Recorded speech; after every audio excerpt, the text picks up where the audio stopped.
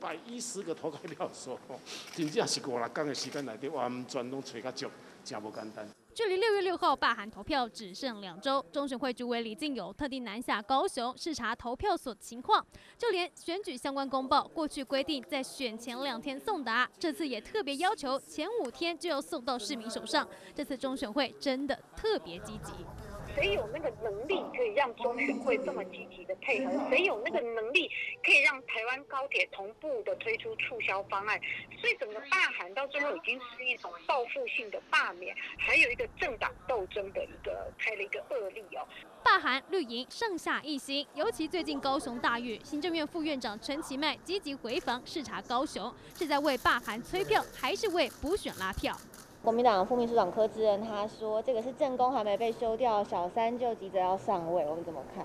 我觉得我认识的柯志恩好像不是这样会讲这种话的人啊！哈，这个就本来我应该做的，那更何况高雄是我的故乡啊！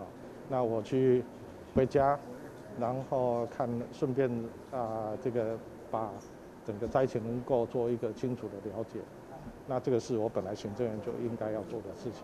但是，民进党高雄市党部主委赵天麟可是直接喊话，要陈其迈来接高雄市长。面对绿营来势汹汹，蓝营党主席似乎是冷处理。